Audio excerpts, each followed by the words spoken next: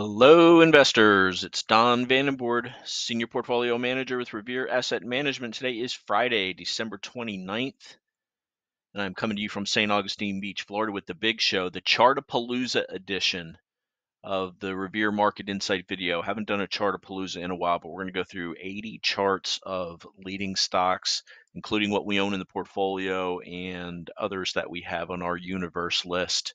A couple of them broke the 21 today.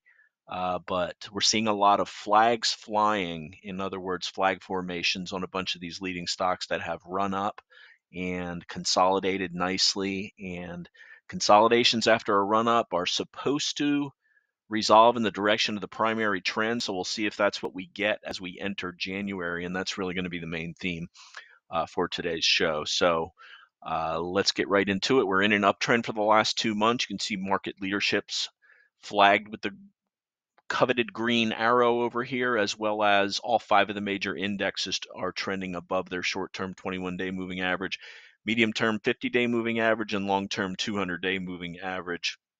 This setup gives us the uh, green light to proceed with uh, allocation into the market indexes and as well as leading stocks and leading sectors. And that's what we've been doing over the past two months. So what happened today?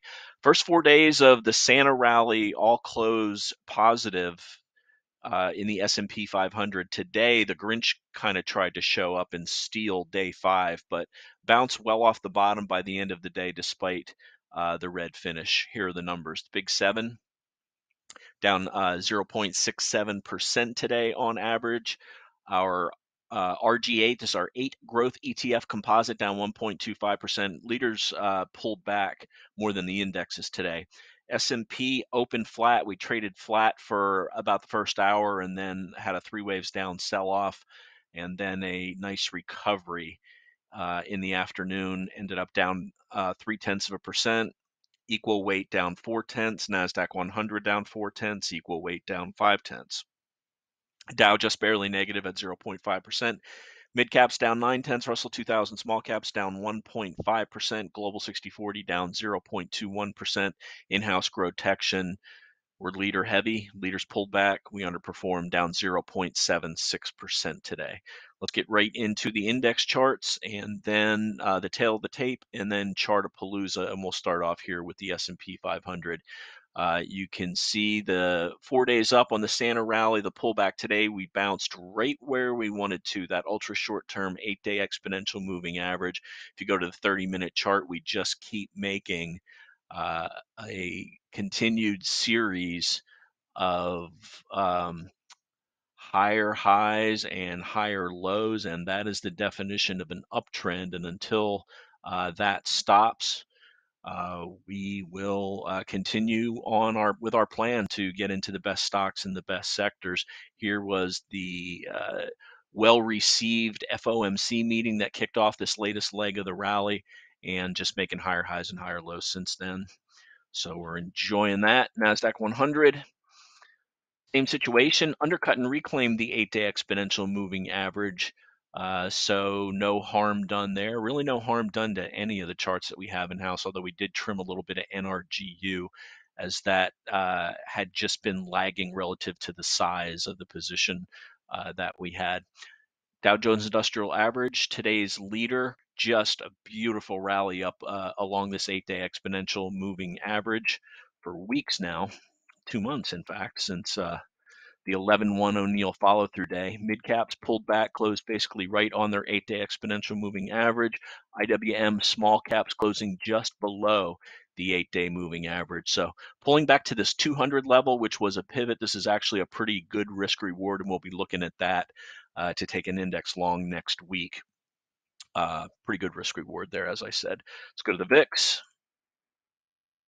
VIX was up most of that day, but dropped as we were rallying on the indexes, just closed down 0.16% below the 21 day declining moving average.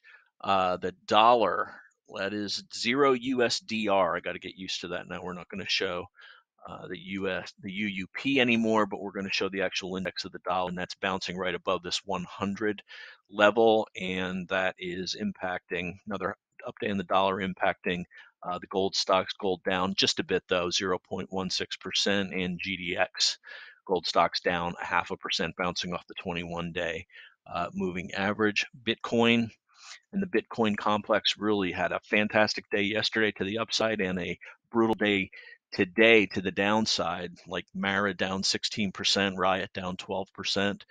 Uh, the one that we own, Coin, down 6.7%, uh, and Bitcoin itself only down 1.6%, but a close below the 21 day moving average, but uh, at the bottom of its trading range. Uh, let's flip to bonds now. Bond prices uh, down across the board. Price down means yield up. Just pulled back to the ADMA on the broad bond index and on TLT.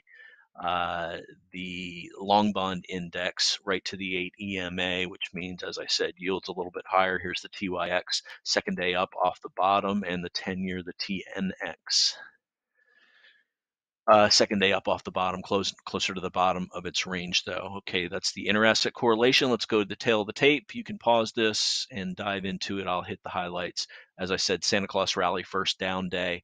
Uh, net gain over the five days, uh, a half of a percent. The average is plus 1.33%. So we'll see what the final two days, which are the first two trading days of 2024, uh, bring us. Right now, we're looking at a four day uptrend and then two consolidation days, six days above the eight day exponential moving average, 40 above the 21 day moving average.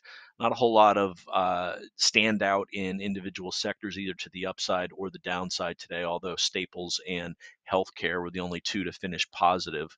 Uh, while we pulled back to the downside, regional banks, biotech, Bitcoin, cloud software, and semiconductors. Only change to the portfolio was a bit of a trim on our NRGU position, bringing down our exposure to a 1.63.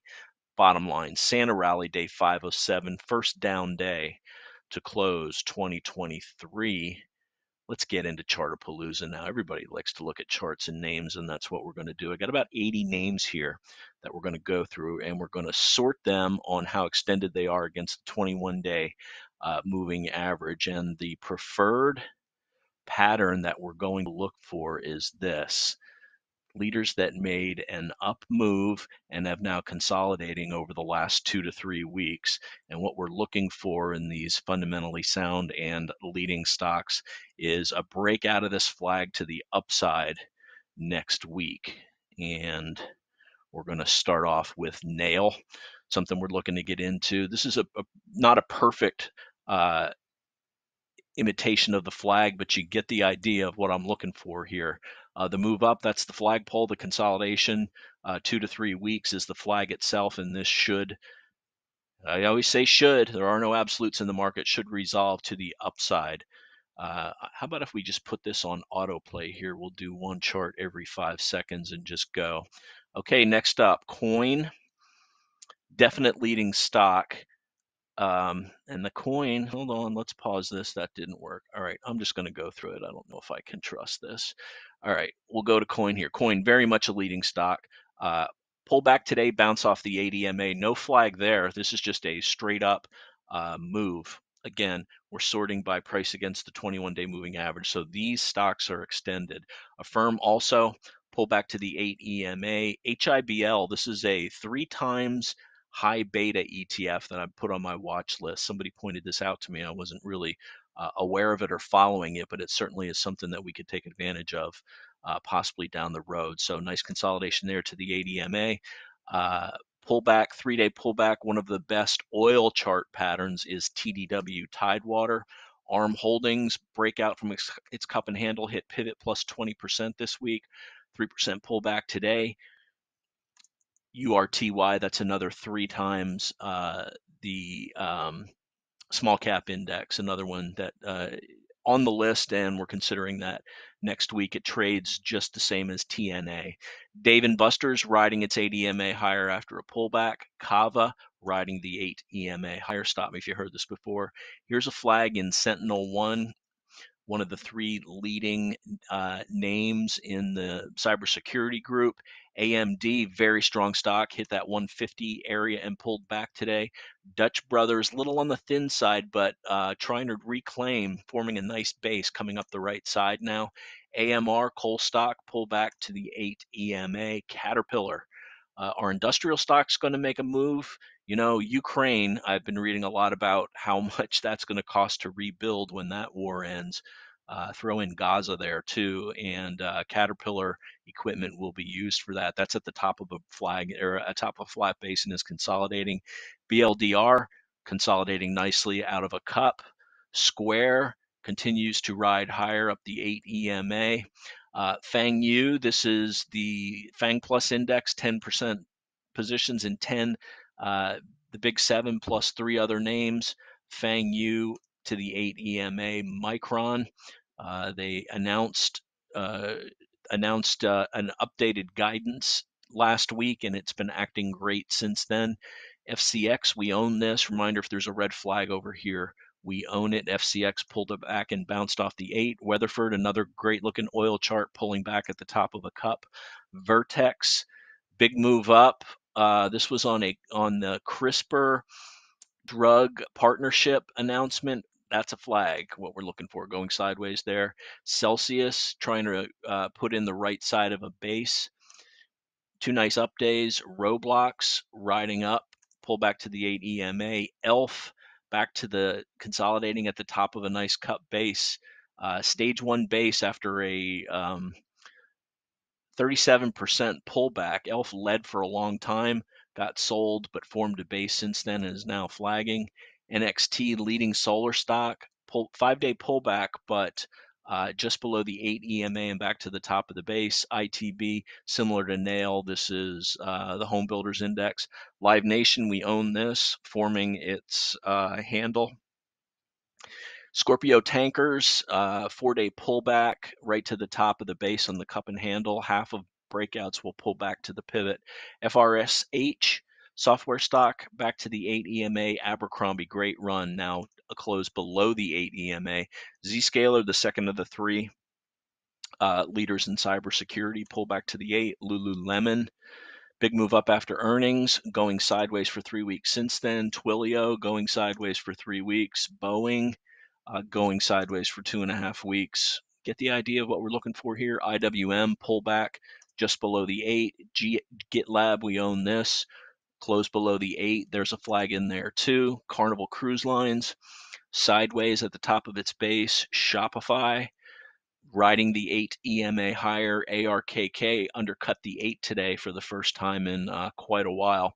Nutanix showing relative strength, riding the 8 higher. Expedia sideways for a week and a half. NVIDIA can't get through that 500 level, but it really could move if it finally does.